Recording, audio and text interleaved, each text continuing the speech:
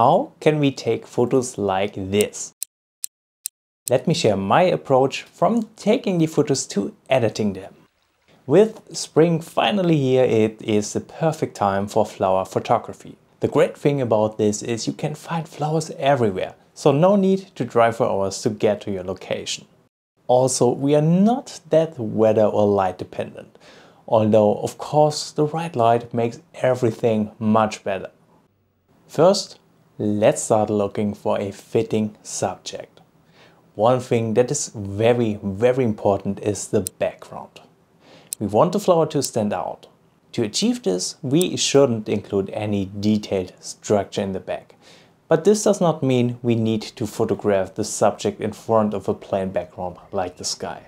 Instead, we need to make sure that there is enough distance between subject and background.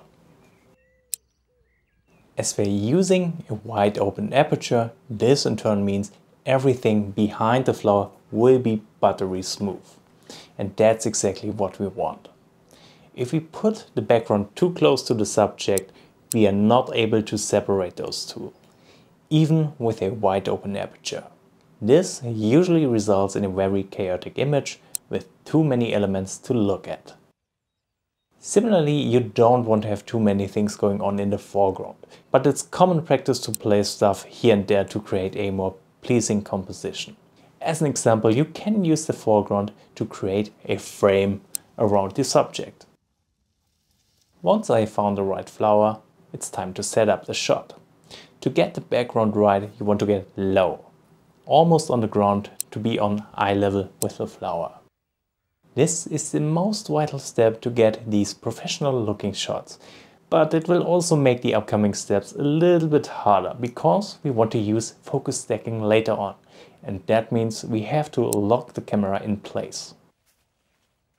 You can shoot the subject out of hand, but this is only viable if you don't plan on focus stacking. However, you won't get really good images that way usually. Alternatively, you can use something like a sandbag which you can put on the ground and then place the camera on top.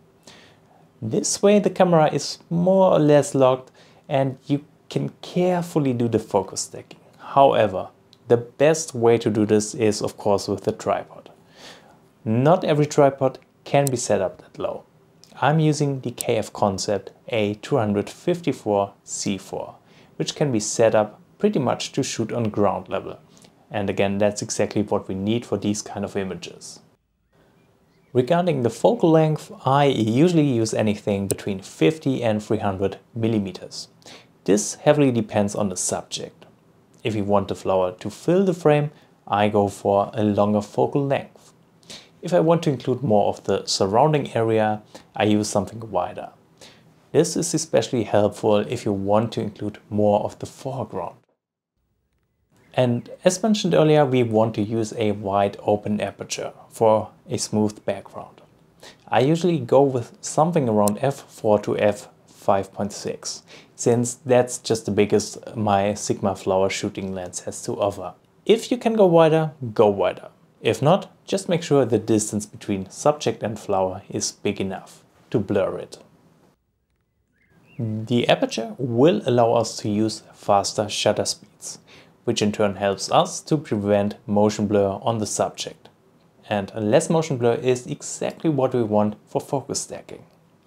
In order to keep the shutter speed fast, I also recommend to make use of higher ISO. Modern cameras can easily allow you to go up to 3200 without having to worry about noise. So with the camera settings dialed in, we can start taking pictures. I talked a lot about focus stacking, so let me explain why and how we do it. By using focus stacking, instead of only a small sharp area, we can make the subject sharp from front to back. And this effect looks especially cool on these kind of images with a smooth background and a somewhat smooth foreground. It makes the subject stand out much much more and gives the whole image a way more professional touch. It's the one thing that separates the snapshots from the really good images. My approach for photos like this is I start with the focus on the back of the subject. After taking the image, I very, very slightly shift the focus further to the front and again take a picture. Depending on the aperture you're using, you have to take more images with more focus points, as a wide aperture produces a very shallow depth of field. Keep in mind, on windy days, it's really, really hard to focus stack, because those tiny flowers are moving around constantly in the wind. So with this knowledge, you now have the base recipe to capture these awesome macro flower shots. From here on, you can add a little more spice by experimenting with different things. What I love to do, I love to use a spray bottle. And with this, you can put tiny water droplets on these flowers. Now that we have our images, let's take a look at the editing. Now that is the image I want to show you the editing for. You can see I have applied a few of those water droplets on the flower using that spray bottle and this is one of many many images of the focus stacking process. I'm going to use this as my base image since the subject is sharp in the center. The editing will be quite intense, so be prepared for some heavy manipulation. And we want to start this in the lights panel of Photoshop. I'm using Photoshop because I'm going to focus stack and therefore I don't have to switch around from Lightroom to Photoshop later on. Now what I want to do first is I want to make this whole shot a little darker by bringing down the exposure. And what this does is makes the whole image darker, but it kind of helps to separate the subject more from the background. I'm going to continue bringing down the highlights just a little bit. And at the same time, I'm going to add some whites. This will give the image some more punch. Perfect. Right away, we can also work on the white balance in the color panel. And what I want to do here is I do want to make this shot slightly colder. So let's bring down the temperature this will kind of heavily alter the color of the flower. Again, I just want to point out this is some heavy manipulation and the flower will not end up having its original color later on. I also want to bring up the tint, just introducing some more magentas to this image this way and then, and then I'm going to bring up the vibrance. Okay, that looks nice so far. I also want to head down into the effects tab and apply a little bit of texture some clarity, and maybe even some dehaze. This will just help with the contrast. While we're in this panel, we can also apply a little bit of vignetting, bringing even more attention to the subject. Okay, now this looks quite good so far. However, with a bit of masking, we can really enhance this image. So let's go into the masking panel. And the first thing I want to do is I want to make the subject pop a little more. Now to select this flower, I'm going to use a color range mask and simply select a color from right here. That's looking quite nice. What I'm doing now is I want to bring up the exposure. I also want to bring down the highlights to prevent any blown out areas in this part. I'm going to drop the shadows immensely for some more contrast. I'm also going to drop the blacks for the same effect and we can carefully bring up the whites. Again just improving the contrast.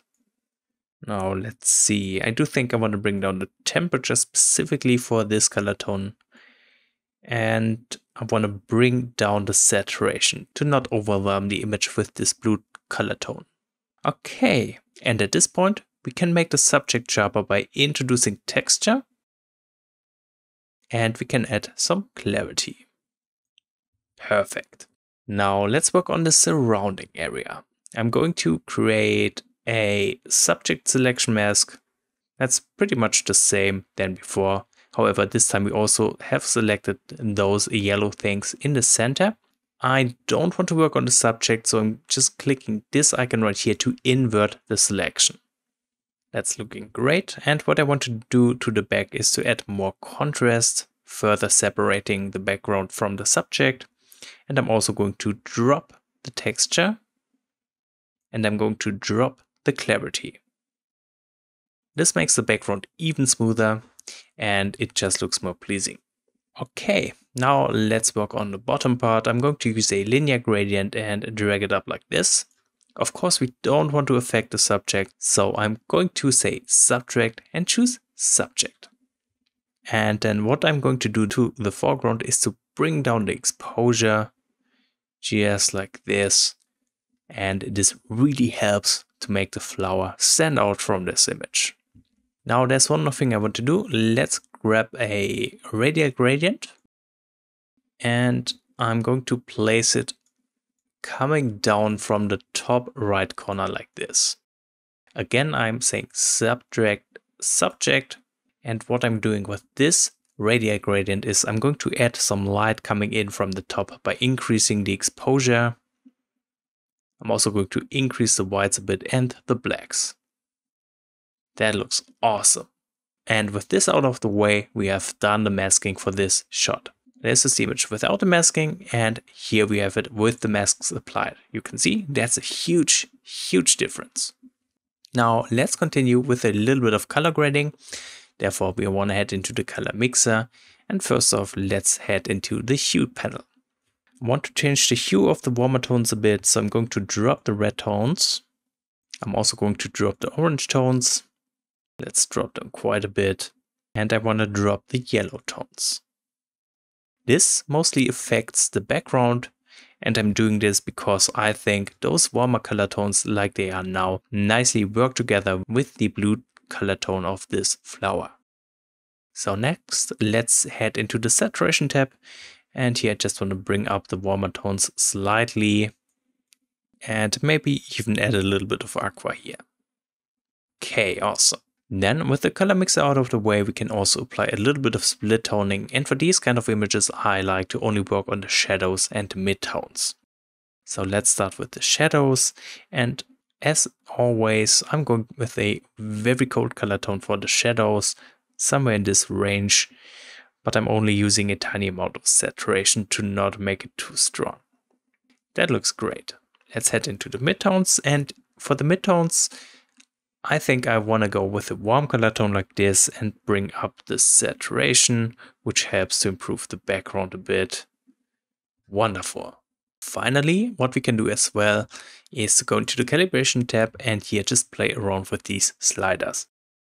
For this image, I'm going to bring up red, I'm going to bring up green, and I'm going to bring up the blue saturation. I'm also going to drop the blue primary hue just like this, altering the colors a little more, but I like how this is looking. Now we're almost done. I just want to head into the optics tab and check the remove chromatic aberration setting. That's something I always do for all my images.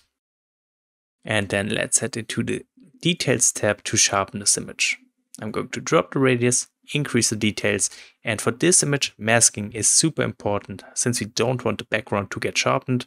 So I'm holding down the Alt key while increasing the masking slider. We just want the subject to get sharpened like that. And now let's bring up the amount of sharpening. Perfect. So that is the raw editing for one of these images. Before, after. As I said, this is some quite heavy transformation, but I really love how this looks. So next up, the focus stacking. We have edited the base image. We now want to copy these settings to all the other images of the sequence. So with the base image selected, I'm going to the start of the sequence, hold down the shift key, click on the image, and then right click, synchronize settings, check all, and hit OK. Then let's do the same on the other side. Let's go to the end of the sequence, right click, synchronize settings, and make sure to check all, and hit OK. And now that we have the editing on all our images, we want to select all the images and then open objects.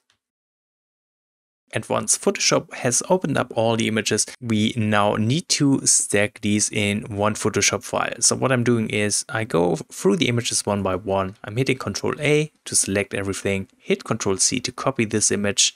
Then let's close this one and I'm using this as my base Photoshop file and I'm going to hit Ctrl V to paste the other image in here. And I continue this process until I'm done with all the images. Alright, and once we are done with that, select all the layers, go to Edit, choose Auto Align Layers and hit OK. This will align the flower because it was slightly moving due to the wind, but I think Photoshop should be able to fix that. Once the alignment is done, let's go to edit one more time with all the layers still selected and choose auto blend layers. Again, just hit OK and hopefully Photoshop will generate a super sharp image out of this. Now as you can see, this looks great. There might be a few unsharp areas here and there, but I think I'm quite happy with the outcome. So what we want to do now, let's merge everything hitting Ctrl Shift Alt E. Then we want to apply some cropping. So I'm hitting the C key and let's adjust the image a little bit, taking away all the gaps on the outside. Now all that's left to do is we want to clean up this image. So let's grab the spot healing brush there are a few sensor spots. And of course, I want to get rid of these things in the foreground, which are really, really distracting. Alright, and here we have the image. Now this is a super clean, focused, stacked image of a flower. We don't have much going on in the foreground and there is not that much going on in the background as well. This does not work every time, but as I said, you just need to try a few things, play stuff in the foreground, maybe adjust the background however you like it to get a proper result. If you have any other tricks to share for this kind of photography, let us know in the comments and also let me know what you think of this image. So thank you for watching this video and see you guys next time.